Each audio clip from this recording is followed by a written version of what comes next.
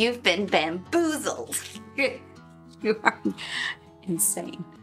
man. So you've really been bamboozled. Oh, I am gonna. It's all about me. It is. Yeah, right. Happy Mother's Day. Oh, ha ha.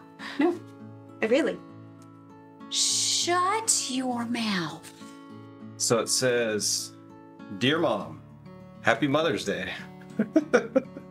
we tricked you into coming here today. this letter is for you. Okay.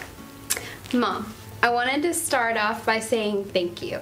Thank you for your unconditional love, your selflessness, mercy, and your strength. Mom, I just want to tell you how much I appreciate you. You've always been there for me, even since before I was born. You've always loved and cared for Levi and me. You are constantly devoting time and energy towards raising us and getting us what we want and need.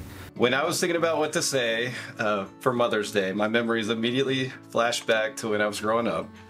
You always poured so much of yourself into raising Jason and me. There's a different kind of love when you become a mom. You can love with the entirety of your being. I now know that. I was very naive back then to understand all your sacrifices for us. I was rude and selfish and made you worry. There have been times I took my frustrations out on you, and I still wonder how you could love such a stubborn child. Throughout my life, from the time I was born until now, you have shown nothing less than the four words I use just to describe you. You have molded me into the woman I am today, besides many trying times of me growing up, as well as my sassiness attitude. I learned so many life lessons from you that, that are still with me today. And as an adult, I've become more and more aware of just how fortunate I am to have you as my mother. Even when I was recovering from surgery, you never stopped devoting time and energy to me. You've been my biggest fan in many aspects of my life. You have rooted for me in everything I've done, and you push me and guide me in ways that no one else can. But you're ever so constant because I said so, led me to the places I, I needed to be always. The funny thing is now I use those four little words with Maddox to hopefully lead him to the same place you led me.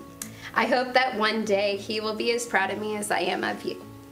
I remember your comfort in being there when I had a bad dream, had a bad day, and the endless hours of playing Barbies incorrectly. You tolerated all my ta- temper tantrums, the door slams, and silent treatments. I was able to achieve my successes because of your encouragement and support. I will say this once. You were right.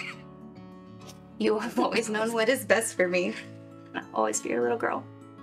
Even when I don't succeed or do as well as I want to, you're the first one to tell me how proud of me you are and how well I did.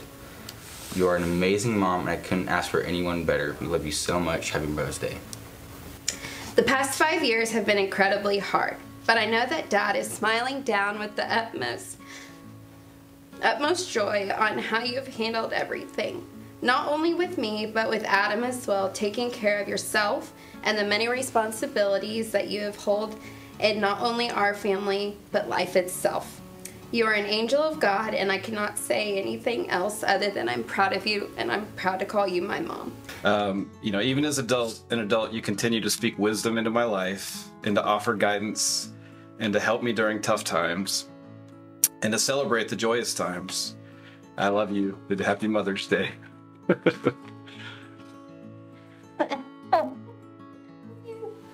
Happy Mother's Day, Mom. Wow.